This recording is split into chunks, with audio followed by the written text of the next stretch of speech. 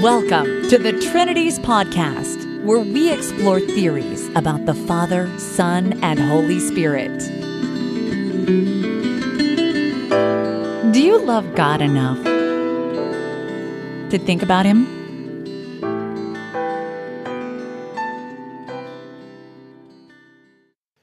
Episode 315 Review of Ryken and LeFebvre, Our Triune God. This podcast is a follow up to episode 314 10 Fundamental Questions about the Trinity.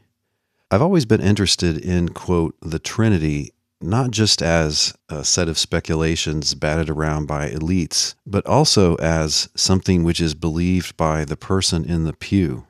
Back in podcast 302, The Stages of Trinitarian Commitment, I mentioned how most Christians are stuck with basically avoiding the topic. They find it painfully confusing, and any forays they make into trying to sort it out, try to understand what's going on, uh, they just end up butting their head against a wall and they quit. And they just go back to repeating the common language or at least tolerating it and uh, just sort of leaving this to the experts. Now, one thing that an ordinary Christian in the pew would do to try to study their way out of this hole is to pick up a short paperback written by experts with PhDs, which purports to tell them the basics of the Trinity. Maybe they don't want to go through the agonies of interpreting Thomas Aquinas and John Duns Scotus and Richard Swinburne and Peter Van Inwagen on the topic. Look, please just give me the basics, okay? Give it to me in an inexpensive paperback of less than 200 pages Give me the basics so I can then find my way through all of these confusions. In this and the next couple episodes of the Trinities podcast, I'm going to review and interact with books which try to fill that niche. They try to serve that role of giving a basic introduction. And I will be concerned with the truth of their answers, but also I'm concerned with how many of the 10 fundamental questions do these books actually give clear answers to how many do they avoid, and how many questions are raised, and yet the reader leaves probably more confused than when they came in. So, this book is called Our Triune God Living in the Love of the Three in One. It's kind of trying to be a book on Christian living at the same time as being a basic introduction to the theology of the Trinity, but it's really the theology part that I'm interested in. It's co authored, and one author is the president of Wheaton College, perhaps the most famous evangelical institution of higher learning in America. His name is Philip Ryken. The other author is a Reformed Presbyterian pastor named Michael LeFebvre. Forgive me if I'm mispronouncing that name, I don't mean to. A couple of the 10 fundamental questions we can deal with quite easily, but some of the others will require a lot of work on the part of the reader. Now, in the last podcast, I said there were 10 questions, but because the theorist either affirms or denies that the doctrine of the Trinity is in the Bible, then they can ignore one of the questions. So these authors do claim that the Trinity is taught in the Bible. And so the question, if this doctrine is not in the Bible, why should Bible oriented Protestants accept it? That question is not relevant to them. So there are nine questions remaining. If the book clearly answers all nine, I'll give it a score of nine of nine. One question they do clearly answer is Is this doctrine, as the Athanasian Creed asserts, something which one must believe in order to be saved? And they say, Yep, that's right.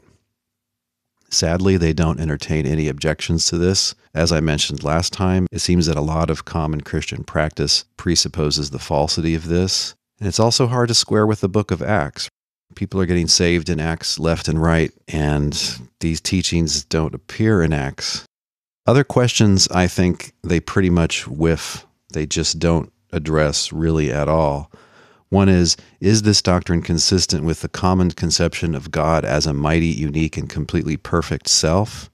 They don't ever address this directly, and we'll talk about this more when we discuss their gestures at explaining the meaning of the doctrine of the Trinity. Some things they say sound consistent with this, and other things sound inconsistent with it. Another question is How does this doctrine relate to the so called ecumenical councils and their creeds? Well, in the introduction written by Dr. Robert Letham, there's a gesture at the 381 Council with really no comment on it. Deep into the book, our authors write It is helpful to think of the Church's confessions, like the Westminster Confession of Faith, as Bible study notes from past generations. So they're not supposed to replace Scripture, they're not infallible, but, you know, they're just handy guides to the Bible. I don't think this is true because these creeds introduce ideas that I don't think are in the Bible. Their comments here presumably would apply to earlier creeds, but they just don't want to get into ecumenical councils. It seems to me that they want to merely gesture at historically popular creeds, perhaps to kind of partake of their prestige, so that the uh, historical prestige bleeds onto what they're saying. And yet, because they're not really getting into those councils, they don't have to deal with any of their obscurities or the issue of their authority. Ultimately, the reader gets the impression that they are wholly dispensable, right? I can get my Bible study notes elsewhere. Why would I need the Westminster Confession or the Nicene Creed if I have the NIV Study Bible? Those are Bible study notes, and they're more voluminous and they're probably clearer. So, in the end, I think they really take a pass on that question. Another question is why have some Christians opposed any Trinity doctrine? They completely take a pass on this. If they know anything about it, they're completely uninterested to present it in this book. In the introduction, Robert Letham mentions, quote, modernist rationalism. What? What's that? Is that something Christians are into? Who knows? So, if you're the slightest bit worried about the Trinity and is the Trinity really in the Bible, and what about these arguments that it's not in the Bible, this is not the book for you. You should just move on. Okay, but lots of readers aren't like that, so let's press on. The number one question, and I think the really foundational question, is what is the doctrine of the Trinity? Don't just repeat for me traditional language, but explain to me how that language should be understood. Suppose you go into the book with this truly foundational, fundamental question about, quote, the doctrine of the Trinity. Thinking about this, I couldn't help but remember what Dante's Inferno says is posted on the gates of hell. All hope abandon ye who enter here, here, here. In other words, you need to abandon all hope of any clear expression of what the doctrine of the Trinity is supposed to be.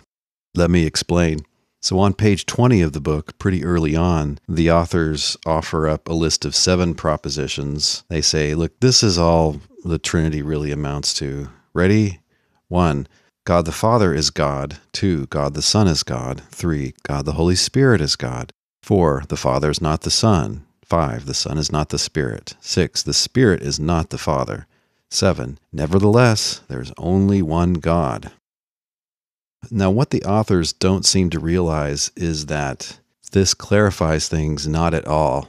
These are sentences that Trinitarians generally will want to say, but they just can't be offered as an explication of what the doctrine is because at least six of the seven are just obviously ambiguous. So the statement that someone is God can be taken in at least two different ways. Really, it's more than two, but these are the two most popular ways. One is to take it as a statement of numerical identity. So the Father is God and the Son is God, each in the sense that Mark Twain just is Samuel Clemens, or in the sense that W is President George W. Bush. So if you interpret all the talk of is God in these statements as being statements of numerical identity, then we're told in the first three that each of the persons of the Trinity just is God, and yet, those three persons, four, five, and six, say, are different from each other. And that's just demonstrably an impossibility. So, if you interpret the talk of is God uniformly as identity, you get the nonsense that the Father is God, the Son is God, and yet the Son is not the Father. But things identical to the same thing are identical to one another.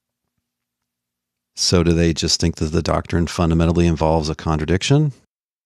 Well, before we answer that, we have to note that a lot of apologists and Christian philosophers will argue that is God should be just taken as saying is divine. It's attributing a property, it's describing the person. Okay? So then 1 through 3 amount to the Father's divine, the Son's divine, and the Spirit is divine. And then 4, 5, and 6 look like they have to be taken in the sense of numerical identity. It just says the one is not the other, right? Not the same thing as the other. Okay, so Father, Son, and Spirit are distinct. That's what 4, 5, and 6 said. And yet 1, 2, and 3 are now in this interpretation saying that each of those individually is divine. All right, well, then there are three things, each of which is divine. But seven says there is only one God. What is a God if not something which is divine?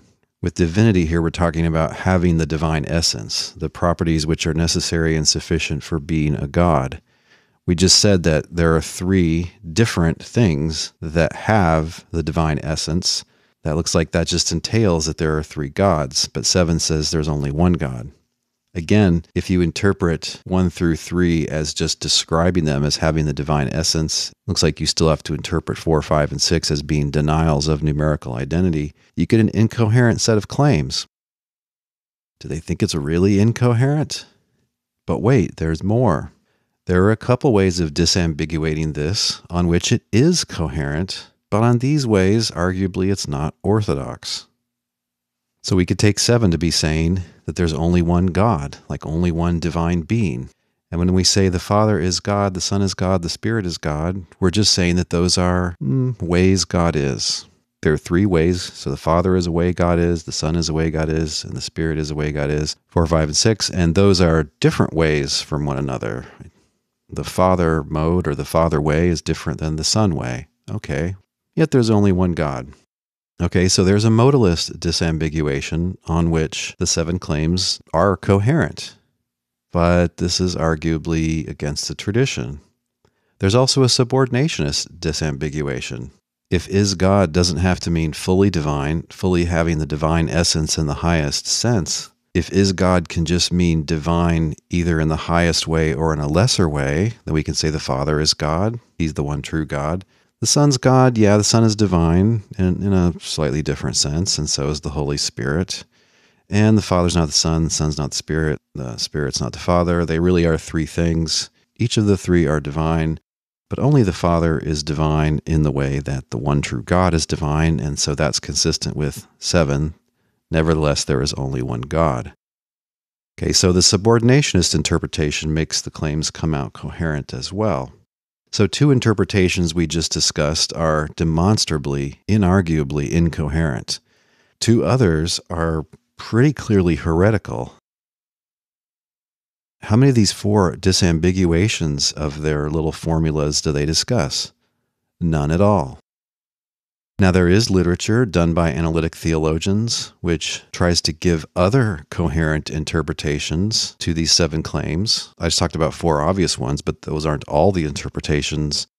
But these authors seem to not know anything about this whole literature. There's not one reference anywhere in this book to any piece of analytic theology. And so they just pass on this kind of piece of lore. Hey, there's these seven claims. That's what the doctrine is. As I discussed last episode, it's not even clear it is only seven claims, but let that go for now. By passing on these seven ambiguous statements, they seem to think that they've clearly expressed a single doctrine, a single view about the one God. But they haven't. So, what do they really think the Trinity means? Right? They know about the language that there's one ousia and three hypostases, or one essence or nature and three persons that have it. In some sense, there's supposed to be a triune God here. Help. How do we interpret this? The discerning reader has just obtained mostly a headache from this little stab at clarifying the doctrine. Now, one thing they strongly emphasize in the first chapter is that you have to understand the divine division of labor. That different persons do different things in, you know, the economy of salvation okay, if that's important to understand their different activities, different jobs, different roles, that suggests that they think there are really three selves there, three intelligent agents, three actors. So, are they social Trinitarians? Do they think these are really selves and not just modes or something else? On this and that page, one starts to think this. And yet, very frequently, they revert to language that sounds vehemently like a one self trinity. Now, let me just turn on my little one self language detector here. It'll give a little ding whenever there's a piece of language which is normally used to express a single self. They write on page 40 He is indeed one God, triune, but He is three persons He is indeed one God, triune, emphasizing the un, but he is three persons, triune, Father, Son, and Holy Spirit. But then you look on a different page, 21, and here's the division of labor. I also have a handy little piece of software here that when it hears language that would normally be used to express multiple selves, it gives a little buzz. But they start the passage with one self talk. So they say, the Trinity is not an abstraction, but a living, working creator redeemer. Hmm. God is who he is in his triune being for our salvation. Okay, here's the division of labor. We are chosen by God the Father in Christ the Son through God the Spirit. Or, as we have already noted, salvation is administered by the Father, accomplished by the Son, and applied by the Spirit. To express the same truths in yet another way, the salvation that was planned by the Father has been procured by the Son and is now presented and protected by the Spirit. Whatever words we use to describe it, the point is that our salvation from sin depends on a gracious cooperation within the Godhead. Now, about that term Godhead, this is a strange feature of recent Trinitarian discourse. Godhead is an outdated English translation of Greek and Latin terms that would be better translated as the divine nature or the divine essence. Godhead in contemporary Trinitarian discourse, as I understand it, it's a plural referring expression used to refer to the three as such. So they'll say, you know, the Son plays this and that role within the Godhead. So among the three of them, there's this one of them who does a particular thing. I think the people that use the term are presupposing that the three, in some sense, are one God or they're in one God, and yet they want to refer to them as three. That's the point of this term, Godhead. In being a plural referring term is like the term gang or group or family. Okay, so what is the doctrine really? Uh, who knows? I mean, the Trinity is clearly a he for them, and yet they seem to think about it half the time as if it's a they, and they give this language that they do not care to disambiguate, and that's about all that can be said. So, this question, what is the doctrine of the Trinity, they do address it at some length, but they address it in a way that's going to leave a discerning reader at least as confused as when they started. When the Trinities podcast returns, what about the tritheism and incoherence issues?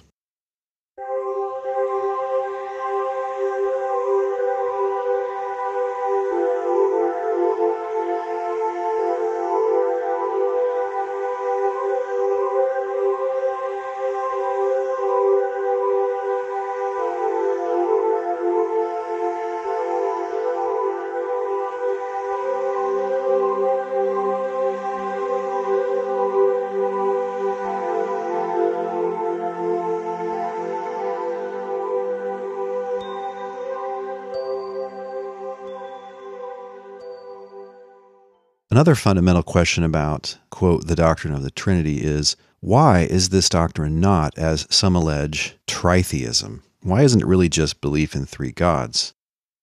Just look at the Nicene Creed. It talks about true God from true God. How many true gods is that? It looks like two.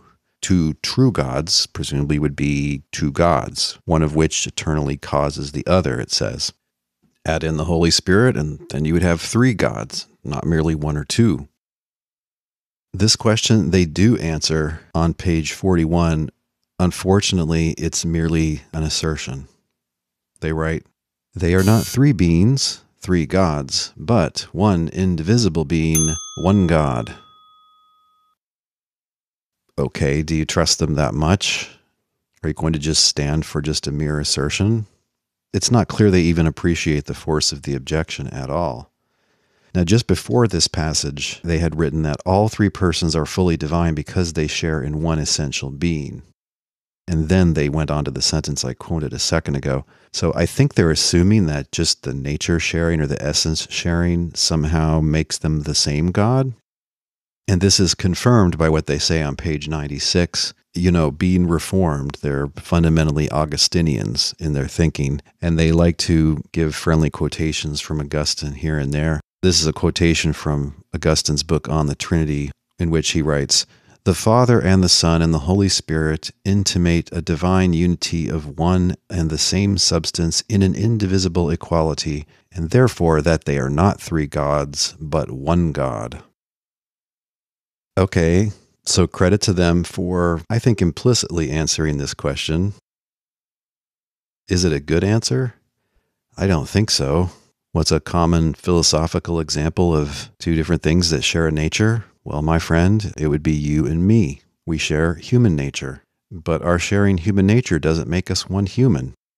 So it's unclear why sharing the divine nature would make these three persons into the same God. A lot more, I think, would have to be said about what a nature involves to make that answer stick. But let's move on to the next question, which is closely related to the previous two questions. It is why is this doctrine not, as some allege, incoherent? In other words, why doesn't it imply at least one contradiction, at least one sentence of the form P and not P? If it does imply a contradiction, then it can't be that all of these claims are true. That's just logic. This they do explicitly address. They call it the logical question. Now, you know, going into this, it's going to be a bumpy ride because earlier in the book they write this one of the most careful explanations of the doctrine of the Trinity comes from, wait for it, the Athanasian Creed, which was written around AD 400. most careful, huh? Wow. I mean, never mind that the Athanasian Creed isn't by Athanasius and isn't by a council. What's important to see about the Athanasian Creed is before it gets around to damning everybody who won't go along with this, it sets out what, on the face of it, is a self contradictory doctrine. They quote the phrase, and yet they are not three eternals, but one eternal. And they quote that the Godhead, the divine nature of the three, is the same. Fine. What they don't quote from the Athanasian Creed is that which, when added, makes the whole thing seem self contradictory or incoherent. And that's that there are differences between the three. The tradition is the Father doesn't come from anything else. The Son eternally comes from the Father. The Spirit eternally comes from the Father or the Father and the Son. Okay, well, those differences entail that the Father is not the Son, the Son is not the Spirit, and the Father is not the Spirit. There really are three things there because eternally they differ from one another. Okay, then if each is eternal, there are three eternals. But this says, guess what? There's only one eternal. If each one of those things is fully divine, there are three fully divine things. This creed says there's only one. So they're not too worried about this, but they know this is a common objection, so they want to take it on. The first thing they do is they just gesture at what I call the standard opening move. You know, we're not saying three persons in one person. We're not saying three beings in one being. We're saying one being in three persons. Okay, that's just out of the top drawer of the apologist playbook doesn't really go very far because you would think a person is a being. It's an intelligent, thinking, acting being. They say something that makes it sound like they think the persons of the Trinity are actually parts of the one God. They write, think about this in mathematical terms. One could say that P plus P plus P equals G. That is, three persons constitute one God and be completely logical. Well, sure, if you think the one God has three parts and those parts are these three persons, then that's not incoherent. Is that their answer? Uh, I mean, it's unclear. If that's what they think the persons of the Trinity are, three proper parts of the whole that is the one God, that's your answer to the incoherence question right there. It looks like then you'd have to say that only the one God has the divine nature because everywhere in this book they talk about the divine nature as implying triunity. Okay, so then the Father wouldn't have the divine nature, not really, but only the whole Trinity would. Looks like they'd have to go in that direction, like apologist and analytic theologian William Lane Craig. If that's your answer, then you should just pay the price and try to deal with the consequences. But they don't seem to realize that this is an answer to the incoherence question because they go on squid style to squirt out a big cloud of black ink. They strongly emphasize that, hey, this doctrine is super weird. It's just odd. It's unlike anything in human experience. You can't give any good analogy to it, and moreover, we're just unable to comprehend it. I guess that's supposed to excuse our authors from needing to clearly communicate what it is. That can't be done, not because we're confused or because we haven't studied this hard enough, but just, hey, it's beyond all human comprehension. You know, all the smartest people in the world with all the divine revelation in the world, they couldn't do such a thing. So yeah, that's why we can't do it.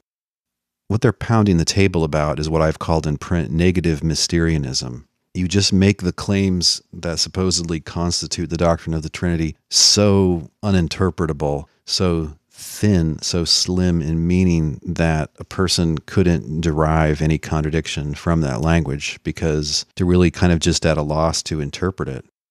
Page 67, they write, But God's triune nature will always remain mysterious. Hmm. Interesting claim. How would a person go about knowing that, I wonder? It is not the intention of this chapter to explain God's triunity. In fact, it is commonly said that everyone in history who tried to explain the Trinity ended up being branded a heretic. So maybe it's dangerous to even try to clarify it. Scripture does not present this doctrine in a manner that satisfies our curiosity, you and your curious mind. You see? You see? Your stupid minds! Stupid! Stupid! Instead, it teaches us just enough about God's triune nature to increase our astonishment and awe of Him. The point of this chapter has been to show that there is nothing illogical or theologically inconsistent about God's being three in one. Having come to that conclusion, the mystery remains. But now, instead of a mystery that causes us to doubt, we see that God's triunity is a mystery that leads us to worship. Augustine wisely reminds us what is needed is a loving confession of ignorance rather than a rash profession of knowledge. To reach a little toward God with the mind is a greater blessedness, yet to understand is wholly impossible. In this chapter, we have reached a little toward God with the mind, but the purpose of such an exercise is not to satisfy questions. Rather, it is to clear away distractions and promote awe and worship. So it's a distraction to wonder just what this doctrine is that they would like us to agree with. I mean, they're right about this language that can't be understood can't be understood to be incoherent. And so that's the protective function of this heavy negative Mysterianism. Like many other authors, they appeal to modern physics. You know, hey, just that it's weird is no hit against it. Physics is full of weird things page 46. Like astrophysics and quantum physics, theology takes us into realms of reality beyond normal this worldly natures. When we study the very nature of God's being and make observations concerning the kind of being that He is, we should not be surprised at findings that are nothing like our experiences of other beings in the everyday encounters of our world. The discovery that God is triune is certainly one such finding. It is an anomaly, but it is not illogical. Nor is it to be dismissed as untrue because we cannot comprehend it. Rather, just as physicists examine the evidence of their fields to establish their doctrines about nature, the claim that God is triune has to be tested against what is revealed about Him. And if the evidence sustains it, it must be accepted reverently. But unlike physics, which studies material phenomena, theologians study an immaterial God who cannot be examined through experiments with a telescope or microscope. The only infallible evidence we possess for knowing God is His self revelation in Scripture. It is, therefore, through the exegetical study of Scripture that the theologian must discern what is true about God, even if it stretches our mind beyond what we can fully comprehend. Recent physics is indeed filled with bizarre and confusing claims. That can't be denied. However, things like quantum mechanics have a strong empirical confirmation. That's why scientists are willing to accept these theories even with their difficult to interpret claims. What the comparison implies is that in the case of the Trinity too, there is very strong confirmation of this, whatever it is, doctrine from Scripture.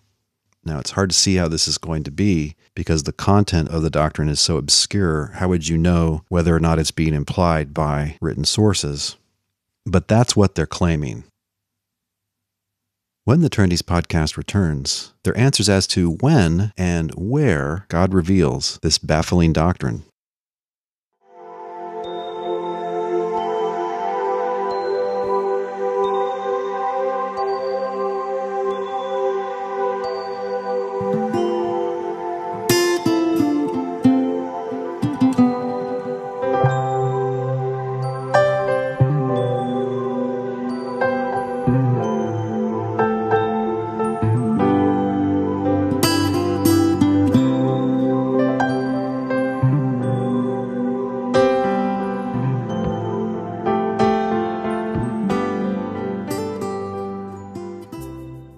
Another fundamental question is when, if ever, did God reveal this doctrine? And their answer is basically that it's revealed in the New Testament, although there is some divine plurality in the Old Testament. And in this section, they have some good comments against overreading Old Testament passages, really kind of shoehorning in ideas which are clearly not in the text.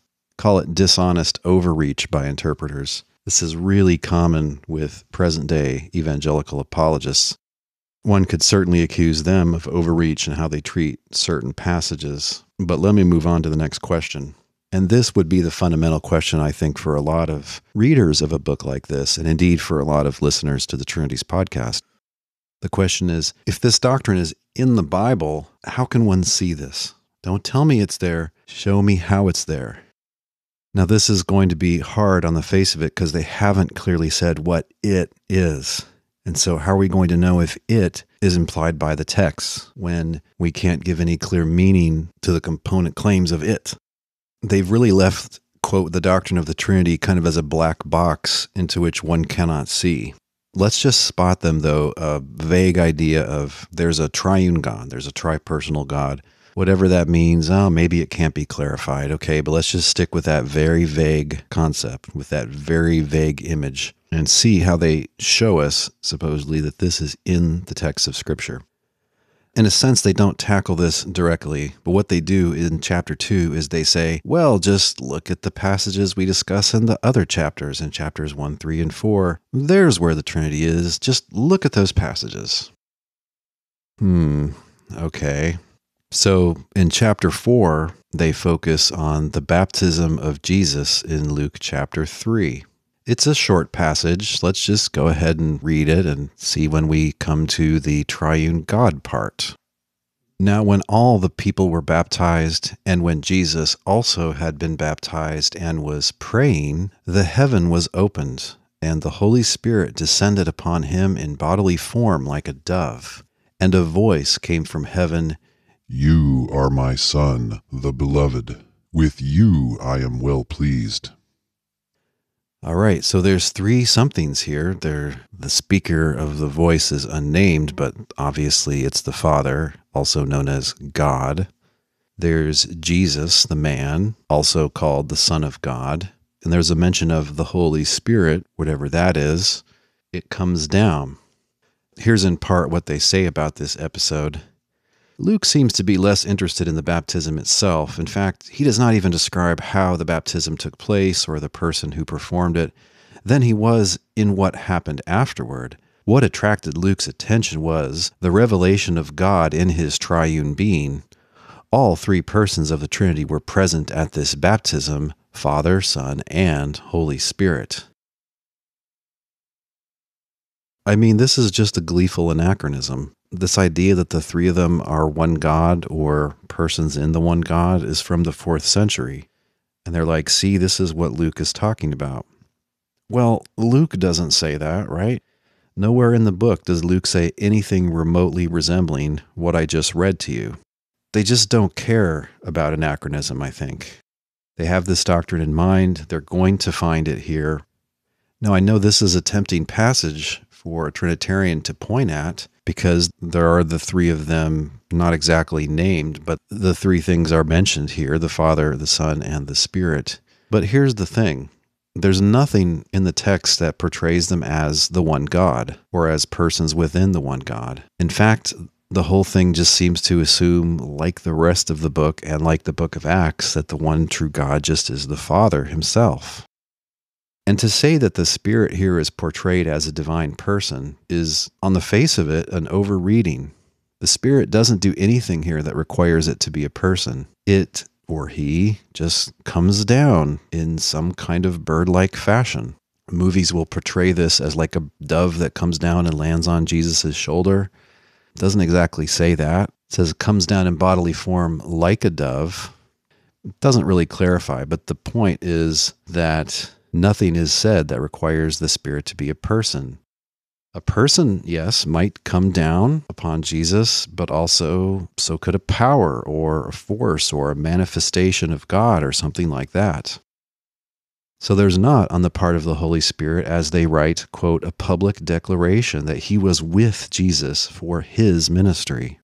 A different way to put it is there aren't clearly three characters here. There are at least two, God and Jesus, but there's not clearly a third. So if you just gesture at this passage and say, look, there's the Trinity, that's not good enough. The most the Trinitarian can say is that this passage is consistent with God being the Trinity. Yeah, maybe, but it's also clearly consistent with, you know, biblical Unitarian views on which Jesus is a man, the one true God is the Father alone, and the Holy Spirit is like God's power given to believers and given to prophets and given to God's human Messiah. It looks like in treating this passage, they've committed a sort of fallacy, which I call the see three fallacy. You just observe the three mentioned there and you conclude, aha, there's the triune God.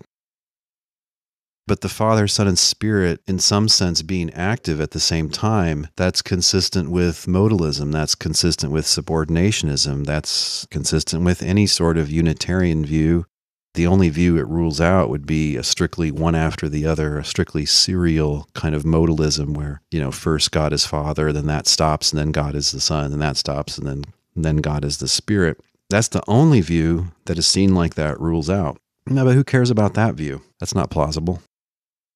I think they commit the same fallacy in pointing us at the opening to Paul's letter to the Ephesians. The three are mentioned here. Okay, but where's the triune God part? Let's listen to this. To the saints who are in Ephesus and are faithful in Christ Jesus, grace to you and peace from God our Father and the Lord Jesus Christ. Blessed be the God and Father of our Lord Jesus Christ. Hmm, did you catch that? Who has blessed us in Christ with every spiritual blessing in the heavenly places, just as he chose us in Christ before the foundation of the world to be holy and blameless before him in love he destined us for adoption as his children through Jesus Christ, according to the good pleasure of his will, to the praise of his glorious grace that he freely bestowed on us in the Beloved. In him we have redemption through his blood, the forgiveness of our trespasses, according to the riches of his grace that he lavished on us. With all wisdom and insight, he has made known to us the mystery of his will according to his good pleasure that he set forth in Christ as a plan for the fullness of time to gather up all things in him, things in heaven and things on earth. In Christ we have also obtained an inheritance, having been destined according to the purpose of him who accomplishes all things according to his counsel and will, so that we, who were the first to set our hope on Christ, might live for the praise of his glory. In him you also, when you had heard the word of truth, the gospel of your salvation, and had believed in him, were marked with the seal of the promised Holy Spirit. This is the pledge of our inheritance toward redemption as God's own people to the praise of his glory. So, on the face of it, the one God here is the Father, and moreover, he's the God of the Lord Jesus. Verse 3 the Holy Spirit is not clearly a person, it's a seal that God has marked us with. Could you describe a divine person as a seal? You could, although the language would suggest something that's not a person, not a self. But if you're just, you know, kind of scanning for the words Father, Son, Spirit, boom, they're there. That's the see three fallacy. Aha, that's the triune God right there, I tell you. Well, the passage seems to make perfect sense without the author's confused ideas about a triune God. So, why would we impose that idea on this passage? And this passage isn't unique. It's just like the rest of Paul's writings. See Trinities podcast 253, The Apostle Paul, a Unitarian. In chapter 3 of their book, they riff on John chapters 13 through 17. Their topic is really the practicality of the Trinity, you know, how doggone helpful it is, which just presupposes that it's true, whatever it is. Do their comments on these four chapters either add any clarity or somehow support these dark sayings? As one would expect, they emphasize that in these chapters, personal language is used of God's Spirit, strikingly so. Of course, the question is how do we make sense of that in the context of all scriptural talk of God's Spirit? Your spirit and my spirit, these are not additional selves, right? Why then would we think that God's Spirit is someone in addition to the Father? One thing they get into here, which further muddies the water, is the issue of worship. Whenever they go with Scripture, it seems like it doesn't fit very well with their Trinitarian speculations. One thing they say is that the ultimate the farthest back object of worship is the Father. Yeah, that's the New Testament view. Paul says in Philippians 2 that every knee will bow to Jesus, and this will be to the glory of God the Father. When Jesus is worshiped in Revelation 5, presumably this is to the glory of God, who's worshiped with him and who's first portrayed alone in chapter 4. They write, We also worship the Son and the Spirit, and we also worship, they say, the three in one. Now, here the careful Bible reader should have questions. There isn't any passage in the Bible where the three in one is worshiped. If you think there is, please inform us where that passage is. Leave us a comment on the blog post for this episode at trinities.org. Nor is there any passage in the Bible where the Holy Spirit is an object of worship. Both of those facts are surprising if God is a Trinity. For one thing, if the three are equally divine, you'd expect equally the three to be worshiped. On the other hand, if the one God is the Trinity, you'd expect the Trinity to be worshiped. Worship is an I thou relation, it's a relation between a self and another self. And really, there are four potential recipients of worship here. I mean, not in the Bible, but given some sort of triune God theory, there's the Trinity, if that's a self. They're totally unclear about that. And then the persons, if they're selves, then they would be three different objects of worship, it looks like. Are they really selves? They're totally unclear about that. Now, I think to make the book more devotional, they like to quote various Trinitarian hymns. And these hymns display a total chaos about how many selves there are in the Trinity. And so there's chaos about how many recipients of worship there are in this Trinity. At the start of the book, they quote an anonymous 18th century hymn that says, To the great one in three, eternal praises be, hence evermore. His sovereign majesty may we in glory see, and to eternity love and adore. By making the one in three, that is, the triune God, an object of worship, that presupposes that the triune God is a self. It's a he, it's a him, it can be addressed, it, or rather he, can receive worship. At the start of another chapter, they reproduce an anonymous 10th century hymn, which translated is Father most holy, merciful, and loving. Okay, there's one self being addressed there in a worshipful manner. Jesu, Jesus, Redeemer, ever to be worshiped. Okay, so there's another one we're worshiping. Life giving Spirit, Comforter most gracious. There's a third object of worship. God everlasting. God, presumably being the Trinity, so in this one, it looks like there's four objects of worship, which would seem to assume four selves, the three persons plus the triune God. And yet at the end of the book, we're back to one self language. Quoting another author, they have this triunion is the secret of God's most infinite life and being, into which, in his infinite love and generosity, he has admitted us, and is therefore to be accepted with amazed and exultant gratitude. So may God give us joyful amazement and eternal gratitude for the glorious mystery of his triune being. That's how the book ends. But yeah, when they're sticking to the Bible, they sound like Unitarians, that the ultimate object of worship is God, the Father. Clearly, we worship the Son too. That's in Scripture, but then they add in these other claims. They also seem to endorse a biblical Unitarian understanding of prayer. On page 75, they write The prevailing pattern of prayer in the Bible is to address the Father in the name of the Son by the help of the Holy Spirit. Right. That's because the Father is supposed to be the one true God in the New Testament. Now, they write just before that, we have examples of prayer to other members of the Godhead in Scripture. For example, Acts 7:59 to 60. Well, in doing that, they fake it. That one reference is when Stephen is being stoned and he addresses the Lord Jesus, who he sees in heaven exalted to the right hand of God prayer in the New Testament, yes, is mainly to the Father, that is to God. Jesus, too, can be addressed. There are some fairly clear passages on that where either it's stated or presupposed. What about the Holy Spirit? As far as I can tell, the Holy Spirit is never prayed to. So it's just hand waving and fakery to say that there are examples in Scripture of prayer to other members of the Godhead, in other words, to the Son and to the Holy Spirit, as far as I know, there isn't any prayer to the Holy Spirit in Scripture. If you think that's mistaken, leave us a comment on the blog post for this episode.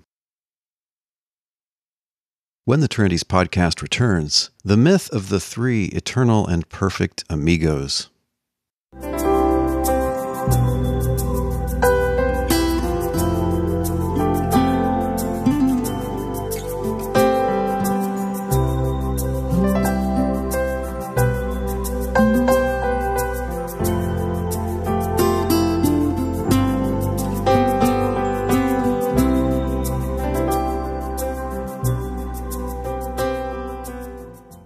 One thing they don't notice is prominent places in the writings of John where a Trinitarian would expect to find three, but John only gives us two. So on page 80, they notice in John 14, 22, and 23, the author writes, If anyone loves me, he will keep my word, and the Father will love him, and we, in other words, Jesus and the Father, will come to him and make our home with him. And that should make you remember John 17, 3, where Jesus is praying and he says that eternal life is to know you, the Father, the one true God, and Jesus whom you have sent. Or in 1 John 1, 3, we proclaim to you what we have seen and heard, so that you may also have fellowship with us. And our fellowship is with, drum roll please, this would be a great place to throw in the three of them, right? Nope, our fellowship is with the Father and with his Son, Jesus Christ. Hmm. Somebody seems to be missing in action there. That's not what a Trinitarian would expect. But like many other authors, they hit us with what I call the myth of the three eternal amigos. Page 92. From all eternity, the three persons have enjoyed perfect love within the Godhead. So, eternally long in the Trinity, in the triune God, there are three persons who have enjoyed perfect love with one another. Really, the discerning reader looks in vain for a scriptural reference there. Where are they pulling that out of? I don't know, it just looks like complete speculation. And this is a point that's commonly overlooked. This theme of eternal perfect friendship just isn't in scripture anywhere. Even if you can argue that Jesus existed before the creation and God created through him, how do you even get eternal existence for the Son? It looks like you don't. It's presupposed by people, but it's not actually a scriptural theme, nor is the eternality of this Spirit, who's a third person, a person in distinction from the Father and the Son. So, yeah, there's a lot of casual anachronism, just reading later ideas back into these New Testament texts. There's the see three fallacy, just because these three are mentioned, aha, this is where they're talking about the triune God, but you never actually see the triune God part in the text. There's this beguiling image of this eternal perfect friendship, which just floats free of any scriptural support. And they seem completely insensitive to features of the text that would make you think that the Son is not God as they point out, he doesn't do miracles by his own power, he does them by God's power given to him. Hmm, wouldn't seem like God would need to do that. Jesus in the New Testament gets credit for obeying God. Does God obey God? Jesus gets tempted. Can you tempt God? What does the New Testament say? Jesus dies. Can God die? They make just a very short gesture at a two natures solution to these kinds of problems, but they don't seem to really realize that they are problems. Okay, what other passages do they gesture at? The transfiguration in Luke chapter 9. They say, look, he just suddenly reveals his deity for a minute. He like pulls back the veil. Look, why would you read that in that way? Commenters point out that when Moses you know, meets God, it is close to God on the mountain, that he comes back down and he's shining and his appearance is changed. Hmm, that seems like a rather obvious help in interpreting this text. They write about this episode that Luke gives us another glimpse of affection and approval within the Trinity when he shows us Jesus' transfiguration. okay, in the text, God, that's the speaker of the voice that comes out of the cloud, God approves of the Son of God. There's no reason to think this is within an eternal Trinity. The Holy Spirit's not mentioned. And Luke doesn't draw any conclusions from the incident like this. Moreover, as they point out, another New Testament book seems to comment on this episode. So 2 Peter chapter 1 verses 16 through 18 says, "We were eyewitnesses of his majesty, in other words Jesus' majesty, for when he received honor and glory from God the Father, and the voice was borne to him by the majestic glory, this is my beloved son with whom I am well pleased." We ourselves heard this very voice borne from heaven, for we were with him on the holy mountain. So, this author is supposed to be Peter. He doesn't draw any such conclusions about these three eternal amigos. It looks like they're just imposing it on the text. Now, maybe the most ridiculous example of imposing Trinity ideas on the text occurs in their treatment of Luke chapter 10. This is where Jesus sends out 70 disciples, and they come back after having some success, and they say, Lord, in your name, even the demons submit to us. Jesus said to them, I watched Satan fall from heaven like a flash of lightning. See, I have given you authority to tread on snakes and scorpions and over all the power of the enemy, and nothing will hurt you. Nevertheless, do not rejoice at this, that the spirits submit to you, but rejoice that your names are written in heaven. Okay, so this is a celebration of the spreading of the kingdom through Jesus' disciples. Jesus is seeing the kingdom advance. And then the text continues in this way At that same hour, Jesus rejoiced in the Holy Spirit and said, I thank you, Father, Lord of heaven and earth, because you have hidden these things from the wise and the intelligent and have revealed them to infants. Referring to his disciples, of course. Yes, Father, for such was your gracious will. All things have been handed over to me by my Father, and no one knows who the Son is except the Father, or who the Father is except the Son, and anyone to whom the Son chooses to reveal him.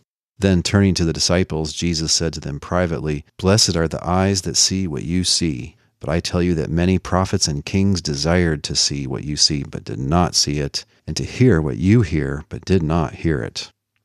Okay, so they're witnessing prophecy coming true. It's the kingdom going forth, but they see mentioned Jesus, the Father, and the Holy Spirit, and they're like, aha, there's the triune God, whatever that is. They write, here, Jesus rejoices in the Spirit and in the Father, and as he rejoices, we catch a glimpse of God glorifying and enjoying himself. There can be no greater joy than this the reciprocal and eternal joy that God Himself enjoys in the being of God. God's chief end is to glorify Himself and enjoy Himself forever. On this occasion, Jesus was so overwhelmed with triune joy that triune joy, that in a spontaneous outburst he rejoiced out loud. He rejoiced in the Holy Spirit, finding his enjoyment in the third person of the Trinity. He also rejoiced in the Father, praising him for his supreme greatness over heaven and earth. Again, does this text imply, does it even suggest that the Holy Spirit is a person? It looks like the meaning here would be that Jesus is just, you know, experiencing a surge of divine power. He's really feeling the Spirit and it's causing him to rejoice. It's like back in chapter 1, verse 41, when Luke writes about John the Baptist's mother, Elizabeth. When Elizabeth heard Mary's greeting, the child leaped in her womb, and Elizabeth was filled with the Holy Spirit and exclaimed with a loud cry, Blessed are you among women, and blessed is the fruit of your womb, etc. So, not just prophets, but believers, and especially a very special human servant who's even greater than any prophet, the Messiah. Sometimes they just are filled to overflowing with God's power and they speak inspired words. And it looks like that's what Luke is writing about here. That's an easy way to understand rejoicing in the Holy Spirit. Notice he only addresses the Father, he doesn't address the Holy Spirit. And it looks like it's just imposing your precious speculation on the text to make the Holy Spirit a personal object of adoration here or praise. It's just not there. When the Trinities podcast returns, some concluding thoughts.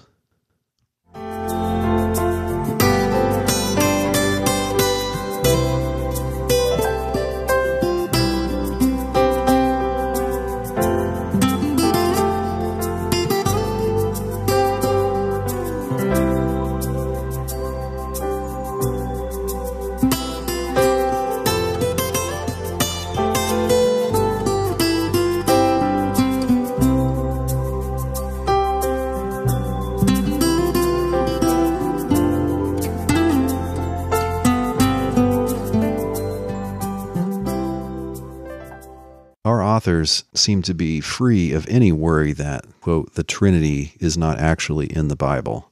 They're incapable of telling us what this doctrine amounts to. They, in effect, reproduce just some standard lore about it that, hey, look, here's seven claims. Isn't that good? And eh, we're not saying God is three and one in the same sense, so eh, it can't be contradictory. In so doing, they don't really go beyond just your kind of average mangy internet apologist. And their exegesis is disturbing. It's just striking throughout the book how hard they try to shoehorn triune God ideas into texts where those ideas don't seem to be needed, number one, and number two, they don't seem to fit. The texts don't mention the Trinity as God. They don't portray the Father, Son, and Spirit as the one God or persons within God or being the same God. They just talk unself consciously about God being the same one as the Father. Those seem to be co referring expressions in the New Testament. And yes, I know that arguably a few times in the New Testament Jesus is called God. On that, see podcast 224, Biblical Words for God and His Son, Part 1, God and, quote, God in the Bible. When it comes to anachronism, taking later ideas and projecting them into earlier times when they were never thought of, unfortunately, our authors are terrible sinners. Reading this book kind of reminds me of reading Roman Catholic interpreters before the Reformation who would just assert that Peter was the first pope based on the discussion in Matthew 16 about the keys of the kingdom, and maybe act as if no one ever questioned or denied such a reading. Now, in fact, there's nothing about that text which refers to the papacy or even a monarchical system of bishops, and by history we know that this was a later development. It's just barely getting going in the 100s. It's still developing in the 200s. It's kind of fully in place in the 300s. That's what historians tell us. So we can be pretty sure that the author of the Gospel according to Matthew is not telling us that Jesus made Peter the first pope. Guys, I've studied this a lot. Based on many years of slogging through all of the available early sources, I can tell you that if you exclude the modalistic monarchians, I don't find any triune God idea in Christian history until the second half of the 300s. There is talk of the Trinity earlier than that, but it's just a plural referring expression for the one true God, the Father, and also this in some sense divine Logos, and this in some sense divine Spirit. So, in these early uses of the Greek word trias and the Latin word trinitas, the meaning is a triad, not a triune God. If I'm right about this, then the doctrine of the Trinity is no more in the New Testament than the idea of the internet is in the writings of Thomas Jefferson. If you look at the writings of Thomas Jefferson and say, aha, I've discovered his plan for the internet, it's not discovery, it's just a projection. It seems to me that that's the quality of discovery and insight that's offered in this book. Put differently, what this book can teach you is how at least Reformed Trinitarians look at the Bible. It's not a pretty picture. The theory seems wholly undeveloped, completely confused, and then they're just finding this confusion supposedly in the text. But the thing is, it just doesn't seem to be there. It's not explicitly there, it's not implicitly there, and it doesn't seem like it's required to make sense of what is there.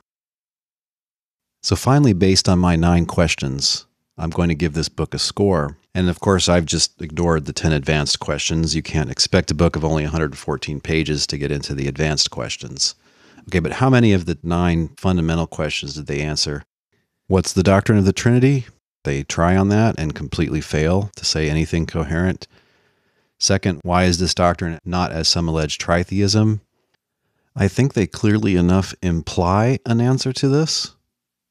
And the answer is this isn't tritheism because there's just one divine nature or essence involved.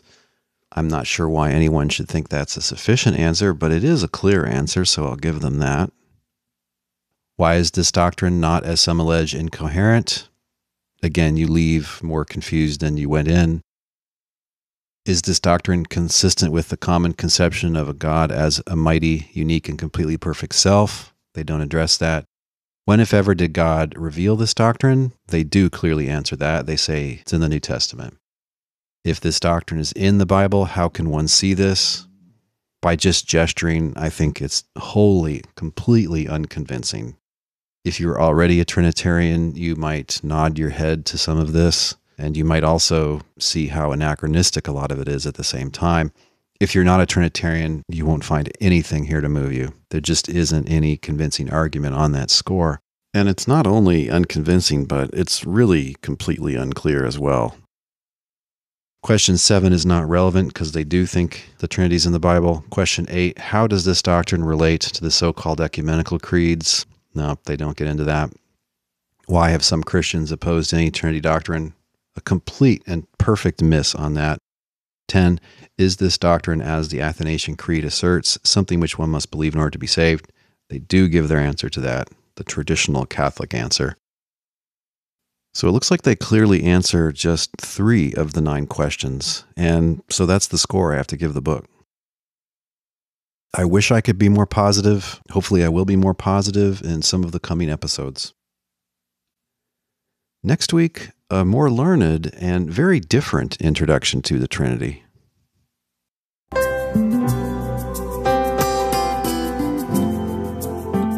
This week's thinking music has been the track High Above the Darkness, My Star by Admiral Bob. As always, there's a link on the blog post for this episode at trinities.org where you can listen to or download that entire track. If you love the Trinities podcast, please share this episode on social media like Twitter or Facebook. And help other people to find the podcast by giving us an honest rating and review in the iTunes store for your country. You can also support the Trinities podcast by giving a certain donation per episode. If you're interested in that, please visit patreon.com slash trinities. Finally, let us know what you think. Give us a comment on the blog post for this episode or join our Facebook group at facebook.com slash groups slash trinities. The Trinities podcast is supported by and made for thinking believers like you. Thanks for your support, prayers, and encouragement.